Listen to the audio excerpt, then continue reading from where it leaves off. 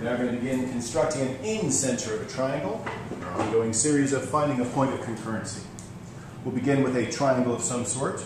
Again, try not to make it too regular. If you make it equilateral or isosceles, you're suggesting that it might only work in that environment.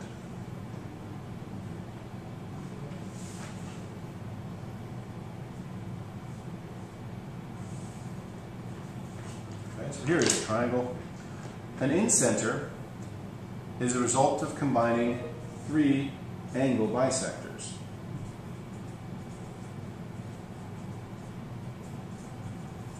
So you'll remember from our previous lessons that an angle bisector results when you take your compass and make some arc. It doesn't even matter what arc it is. But from the points of intersection of that arc, you're going to effectively construct a perpendicular bisector.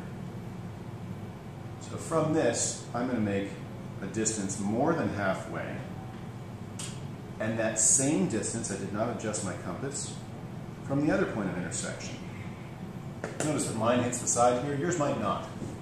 But by constructing it with one, two, and the original point, this gives me three points to determine a line.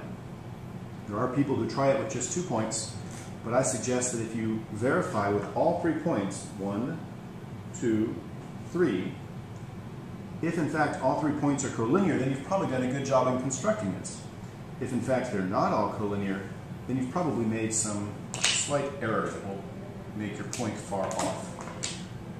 So then we'll come back to this other side, other angle, excuse me, construct an arc of any length. From the points of intersection, go more than halfway.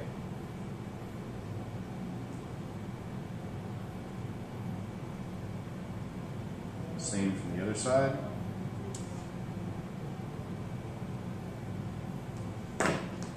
Those points of intercept.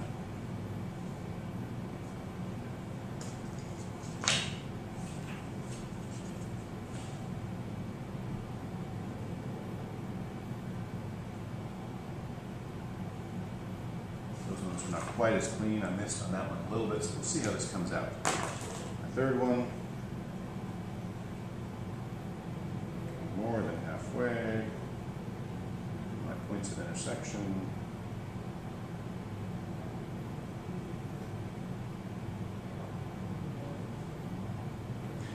You know redo that one because I started to choose the same length, which doesn't give me my three points.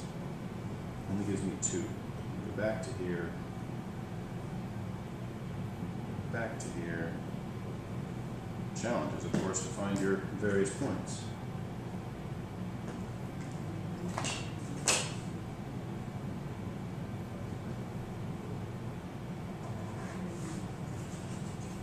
So these three points needed a point of concurrency, a single point of intersection.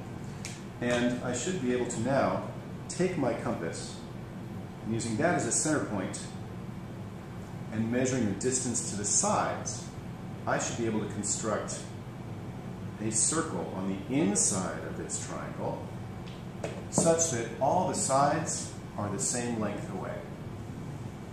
This is the value of an in-center. It becomes the center of a circle which fits inside the triangle.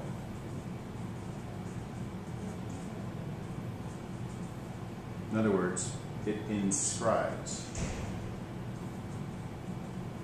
or it is inscribed in triangle. The in-center results from three angle bisectors, and it produces a center point, which allows you to construct a circle that's exactly the same distance from each side. That concludes constructing an in-center.